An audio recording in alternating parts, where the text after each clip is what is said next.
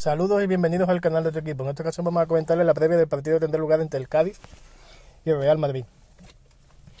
Vuelve el fútbol al nuevo Mirandilla, al nuevo Mirandilla por todo lo alto y es que el Real Madrid visita en esta ocasión al Cádiz, un Cádiz con muchas imprecisiones, un Cádiz con muchas sombras que no termina de se ha metido en un juego anodino y paupérrimo las últimas jornadas y no termina de, de salir de ahí.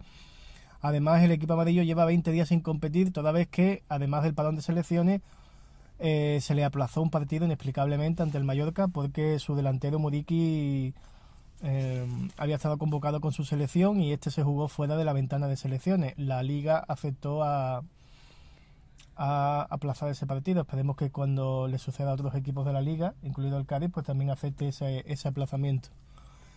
En cualquier caso, el, Cádiz, como decimos, se tiene que centrar ahora en este partido. Lleva 20 días sin competir, tan solamente jugado un amistoso en San Lucas, que además sirvió para que se lesionara eh, con lo cual tampoco ha sacado mucho provecho, en tanto en cuanto que tampoco se mejoró la imagen ante un equipo de segunda, de primera federación.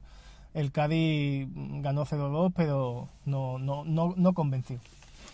Recupera efectivo Sergio González y es que recupera a, a Brian Ocampo, que viene de lesión, y, al igual que Jorge Meré, y también recupera a Sobrino y Fali, que vienen de sanción. Sigue en el dique seco Fede San Emeterio y Luis Hernández. Tendrá que componer un equipo competitivo, un equipo comprometido para, poner, para poder ganarle a todo este Real Madrid que visita Cádiz, que aunque ha tenido muchas dudas, al final eh, Ancelotti recupera, o, al menos no pierde, varias de sus figuras. Es verdad que a, a Tuachmení y a um, Camavinga, junto con Vinicius, los tiene lesionados, pero podido recuperar a Bellingham, a Carvajal y a, Rodrigo, que también llegó eh, con un golpe de, del partido de selecciones.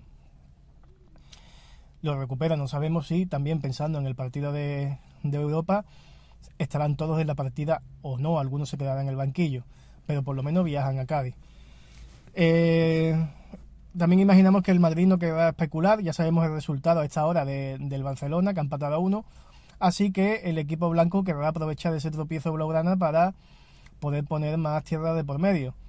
Eh, si bien es cierto que el Cádiz también necesita sus puntos y aunque intentará todo lo posible, ya sabemos que el Madrid cuando quiere es una locomotora. Veremos a ver cómo se desarrolla el partido, veremos a ver al final quién se lleva el, gato al agua. El caso es que, como decimos, el Cádiz debe salir por lo menos a dar una buena imagen, intentar al menos empatar y si puede ser, pues, por supuesto, ganar.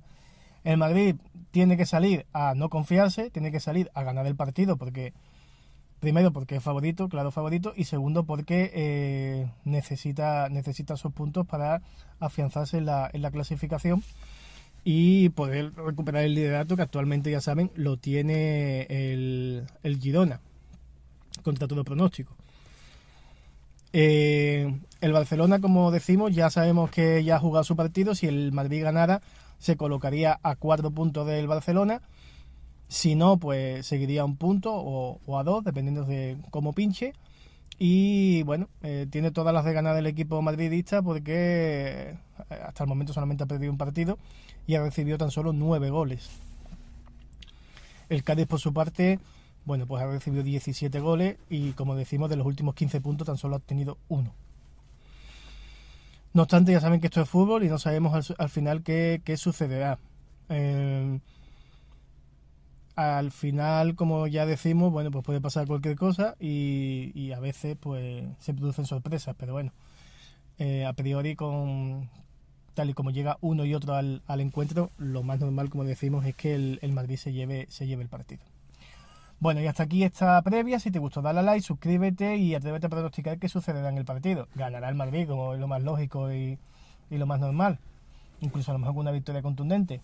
Habrá un empate, que en principio al Cádiz le podría valer, porque empatar contra el Real Madrid siempre es un punto que no se espera, aunque no avanzaría mucho en la clasificación. O ganará el Cádiz, que sí que sería una gran campanada, hacer que el equipo blanco pierda su segundo partido en Liga.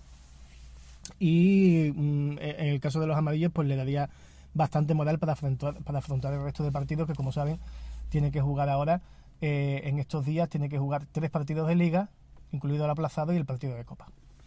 Cuéntanos aquí lo que creas. eh, aquí en el canal de tu equipo. Hasta pronto.